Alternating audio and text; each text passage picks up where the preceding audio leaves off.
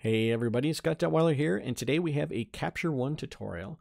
And I'm going to let you in on a technique that I've been using that I really haven't seen uh, videos for anywhere. And it allows me to get a really great result with skin before I even go to Photoshop.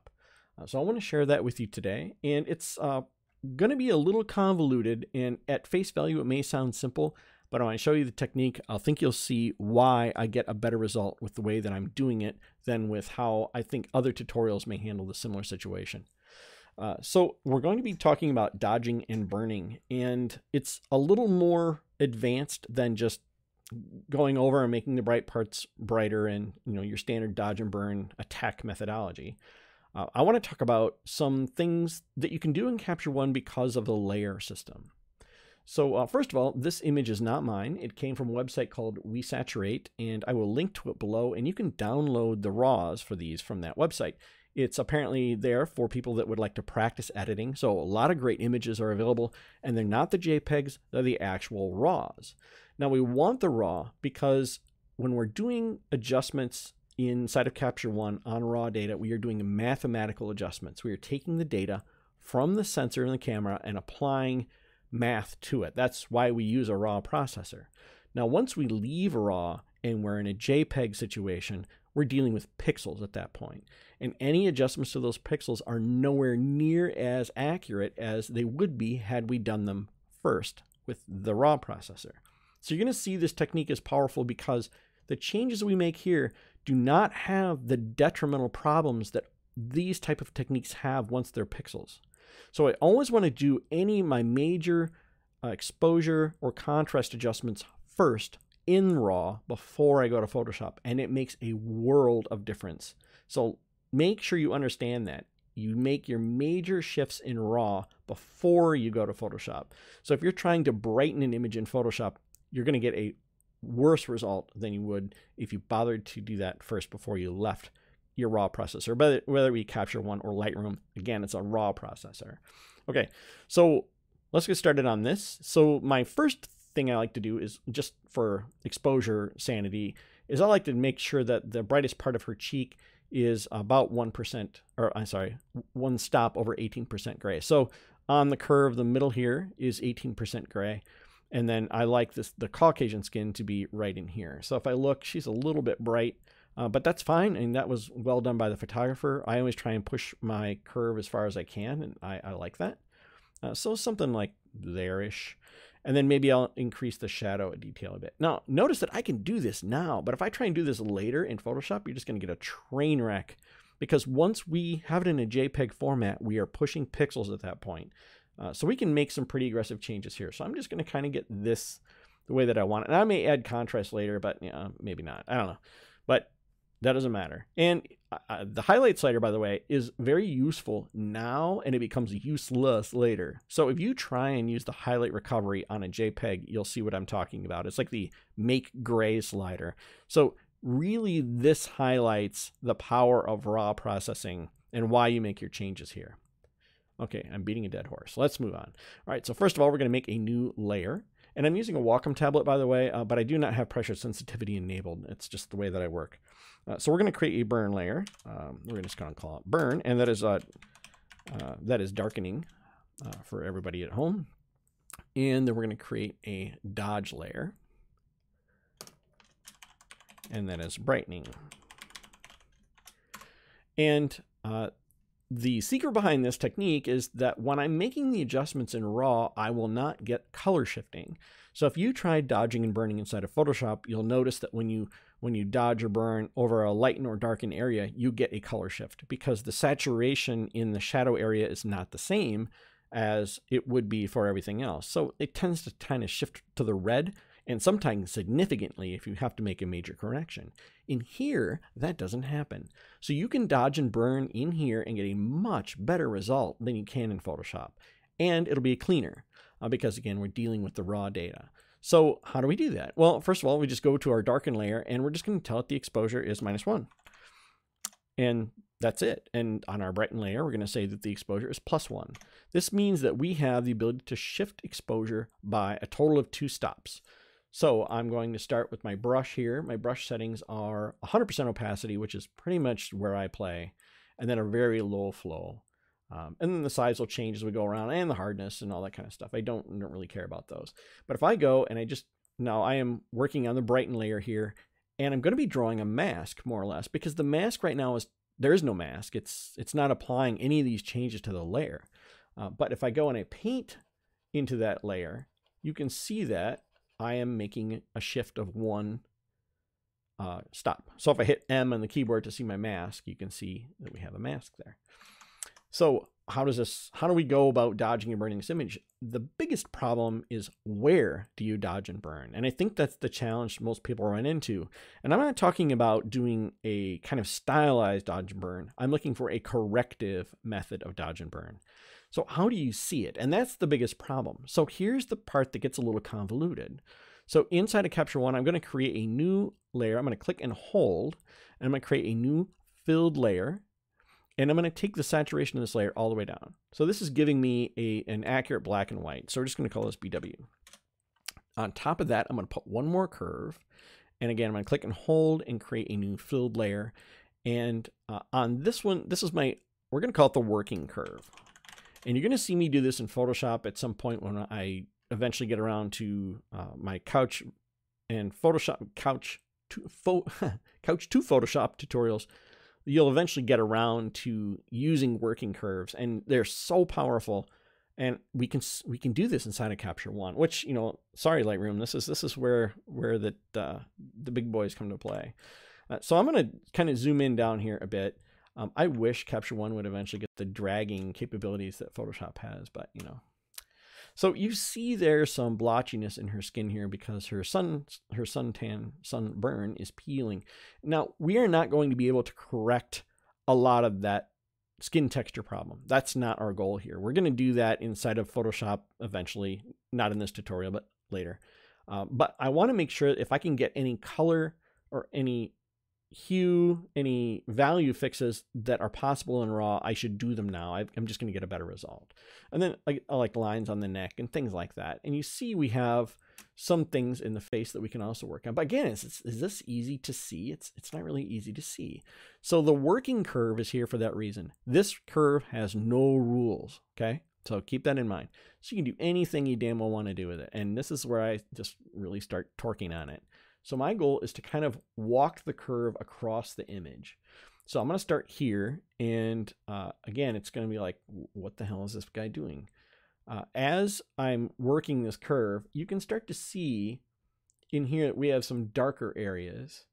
Uh, here, there's some darker areas. And it's like the contrast is so high. What is cool about this technique is that anything you see under this microscope of contrast, I mean, this is such a steep curve.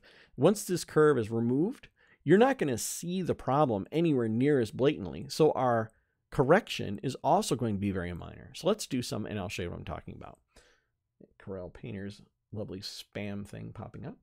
All right, so let's start over here. Now, remember, a pimple is simply a, a highlight and a shadow. So if you remove the highlight and the shadow, then we should have no more pimple we uh, want to make sure that our working curve is showing us some issues. So I like it to be really steep. And I'm just going to work across the image. I'm going to work fast, so I'm just going to go click on Brighten. I have my brush B. I'll make it tiny. Uh, and I, I tease and I say the the closer you zoom in, the more you like the person. Because if you zoom in, you're going to seriously get caught in the minutia of skin and those little crevasses, and you'll get lost and spend hours in there, and then find out you only moved like half a cheek. So I would tell you to zoom out a bit. Uh, this is probably a pretty comfortable working range. So I'm just going to use my brush here, and um, I don't know why Capture One is jumping around like that.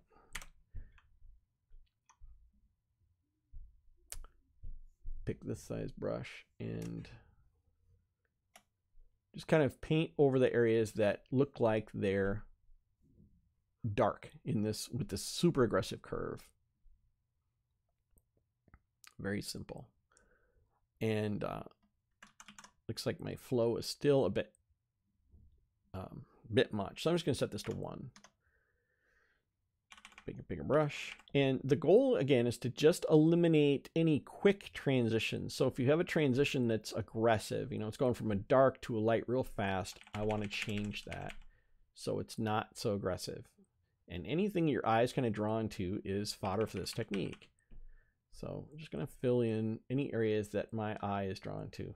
Uh, we can do that with zits as well. We can go in and remove those pimples by removing the shadow and the highlight side, but realistically, it's easier to do that in frequency separation inside of Photoshop. So once I have this how I want it, and this looks fine to me, I'm going to work, go to my working curve, and I'm going to walk it a little bit farther to the left. And again, I'm just kind of taking and, and pulling it over and you got to kind of look past the areas that are going to start to get blown out. Um, we don't care about this anymore. We've already we've already worked on that spot, and we're just working on the other areas that are becoming obvious to us as we move this curve across.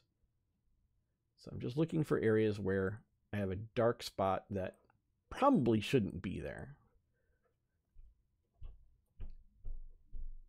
and this will end up with uh, a much better result for skin. And I'm going to move quickly here because otherwise this video will take forever. Move our working curve again. We're just kind of moving across the image. Remember, there are no rules for this curve. You can do anything you want to do with it. I'm going to zoom in a bit.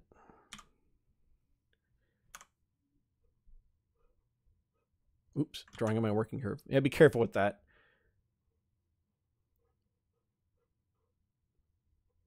I do not know why Capture One is jumping whenever I am touching it at this uh, zoomed in factor. So here I'm going to really kind of fill in those areas.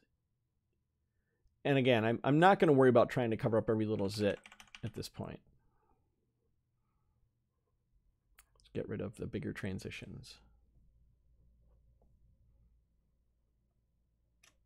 Hold on spacebar, I can move around what new areas have come into view of this technique.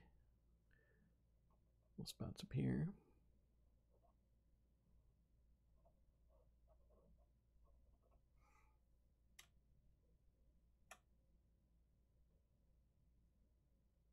Okay.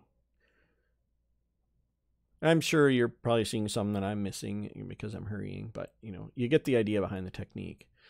All right, so working curve a little bit more. And again, there are no rules for what the curve looks like. You decide. So um, although I do like to span top to bottom, uh, that's pretty much the only rule I have with how I how I put this thing down. So uh, we do know a little bit of anatomy, so we know we're not going to flatten all this stuff out because we do not want to get rid of her personality and the shape of her skull and so on, because you can actually change a face pretty substantially if you mess with it enough. Just looking to move some of these bigger pieces.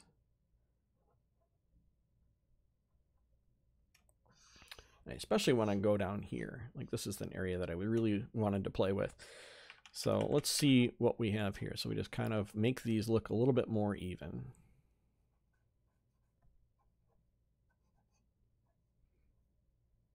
Now, obviously, we have two curves here. We have a brighten and we have a darken. Uh, right now, my eye, and I think most people's eyes, tend to see the areas that need to be brightened and not so much the areas that need to be darkened.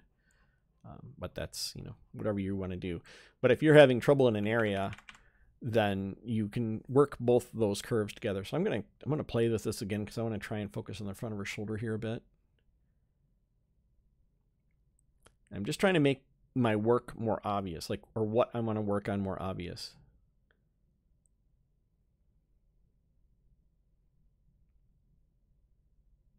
There we go. So in this situation, I see something I need to darken. So these areas here, pull these down a little bit.